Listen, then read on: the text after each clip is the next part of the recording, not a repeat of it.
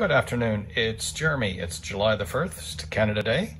And today I want to talk about testing the um, Sawbird H1. This is the LNA BPF designed for the hydrogen line. And in the previous video, I did a quick test uh, using my uh, uh, Signal Hound spectrum analyzer and just terminating the input just to get a, a bandpass characteristic on the spectrum analyzer.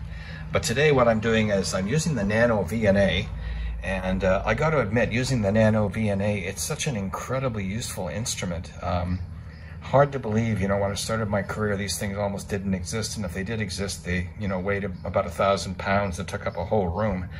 But this thing is just a small little device. It's absolutely amazing. So what I've got here is I've got the Nano VNA and um, there's my Sawbird. On the output of the Sawbird, I've got a DC block. I always put a DC block on my spectrum analyzer just in case. You never know. So just for being careful, I put the DC block there and I've got a 20 dB pad on the output. And then on the input, I've got 30 dB. I've got a 20 dB pad and a 10 dB pad, 10 dB pad. And then I've got some coaxial cables going to the uh, port one is the output here. So it puts out about zero dBm. Now, if I don't have the uh, pads, I'll overpower the Sawbird. The Sawbird's used to getting a very low signal power. So now I'm, if I'm putting in 30 dB of attenuation, I'm getting about a minus 30 dB into the Sawbird, which is what it typically sees. And the same thing goes for the output. Since this is about zero, it's expecting at most zero here. So if I didn't have the pad on the input, this thing would. This thing has a nominal gain of about 40 dB uh, I would overpower the uh, Nano VNA. So I've got, that's why I've got 20 dB in here, and I've connected it there.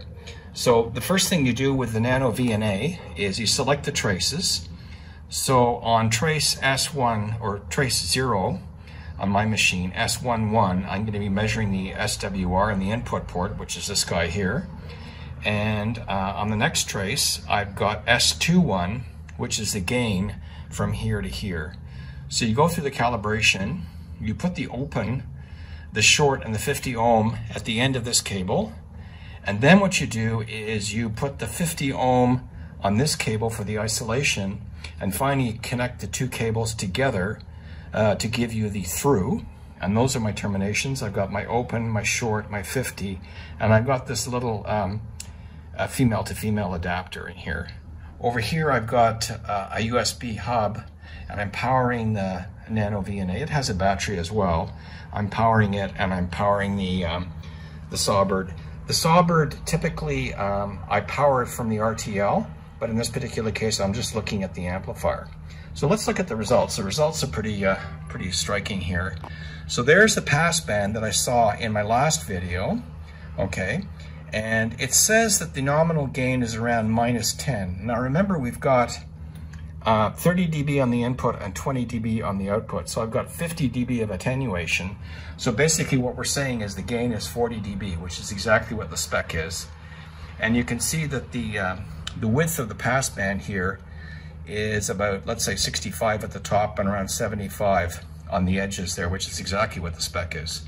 So this amplifier is doing exactly what it's supposed to do. And uh, like I say, using the uh, Nano VNA is is really, really useful tool.